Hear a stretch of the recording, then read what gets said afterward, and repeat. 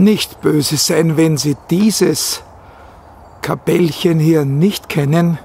Es ist die Waldandacht am Rande der Höhenstraße gelegen und deutet auch schon hin, wo mein heutiger Stadtspaziergang oder eigentlich besser meine Stadtspazierfahrt führt, nämlich entlang der Höhenstraße.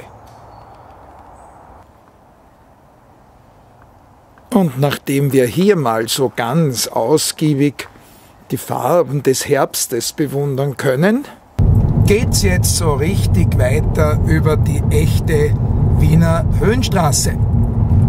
Ja, und während der Fahrt erzähle ich euch gerne ein bisschen was aus der Geschichte der Höhenstraße. Am 18.05.1934 führte der damalige Kanzler Engelbert Dollfuß den Spatenstich durch. Am 16. Oktober 1935 wurde bereits der erste Teil eröffnet und 1936 war sie komplett befahrbar. Sie wurde auch zum Teil für Straßenrennen genützt. Am 18. Oktober 1936 das erste Höhenstraßenrennen. Bis in die 50er Jahre wurden Rennen durchgeführt. Zwischen 317 und 466 Höhenmeter hat die Höhenstraße. Der höchste Punkt liegt beim Häuserl am Stor. Und die Gesamtlänge der fast durchgängig mit Kopfsteinpflaster belegten Straße beträgt 13,7 Kilometer. Weiter geht's zum Dreimarkstein, wo ich nach ein paar Fahrminuten und natürlich Autolärm im Hintergrund das beliebte Ausflugsgasthaus Häuserl am Rauern entdecke und wo es einen ersten schönen Ausblick von der Höhenstraße auf die Wiener Stadt gibt.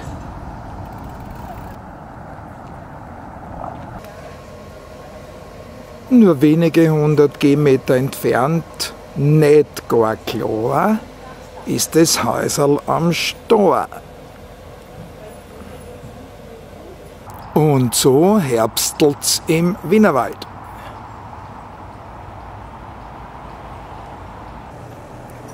An der Abzweigung nach Klosterneuburg an der Sieveringer Straße genauer befindet sich der größte A-Gottwirt. Ich fahre aber weiter über die Höhenstraße und lande am Kobenzl, wo das Schloss Kobenzl und die Nebengebäude eigentlich so gar keinen erbaulichen Anblick bieten. Aber im Herbst 2021 soll das Schloss dann wieder schön sein. Vorbei am Landgut Kobenzl, wo diese vier offensichtlich das Martini-Fest gut überstanden haben.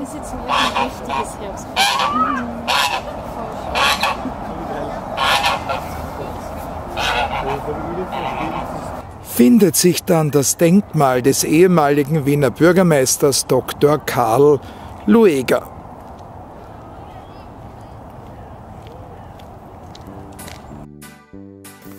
Ich gehe jetzt aber doch hinein ins Landgut Kobenzl, um einfach mal auch für die Jüngeren oder Tierfreundlichen unter den Stadtstreicher-Fans ein bisschen von den Tieren dort zu zeigen.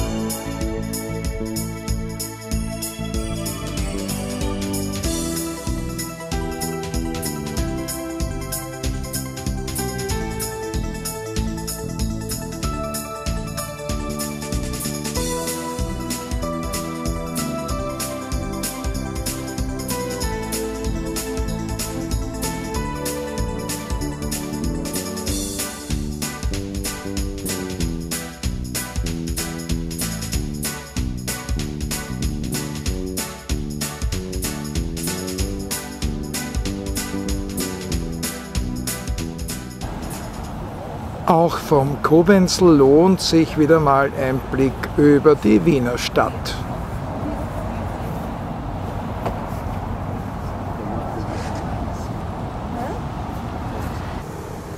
Und an den Hängen des Kobenzl gedeiht natürlich auch wieder mal der Wein.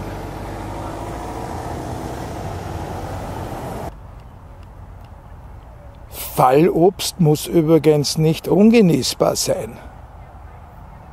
Und so wird dieser Apfel jetzt demnächst in meinem Magen landen. Mahlzeit.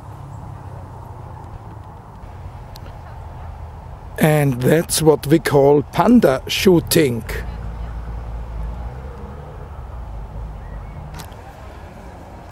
Im Häuserl am Himmel unweit des Kobenzl findet auch so mancher müde oder hungrige Wanderer das, was er braucht.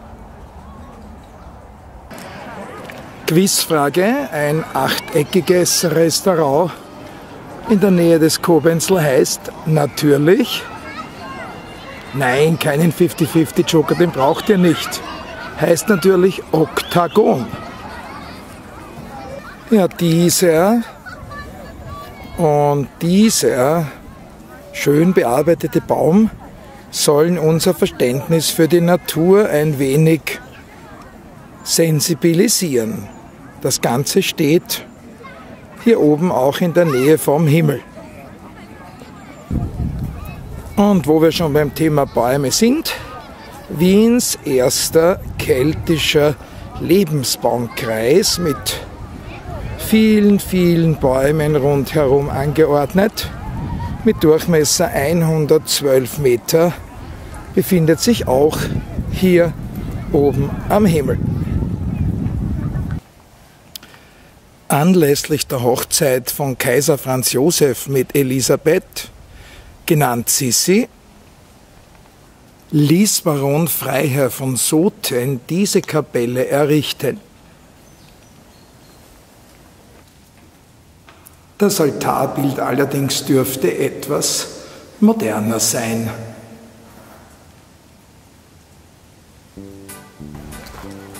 Ja, langsam aber sicher wird es Zeit, sich auf den Heimweg zu machen. Und an einem windigen Herbsttag ist natürlich ideales Flugwetter für Drachen. Achtung, haltet eure Schwiegermütter fest, bitte.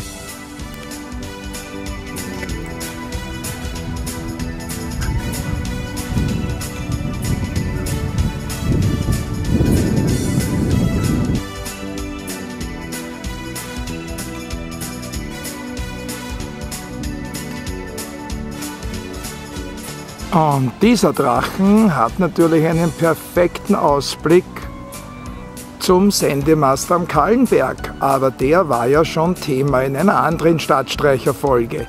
Bitte einfach dort nachschauen.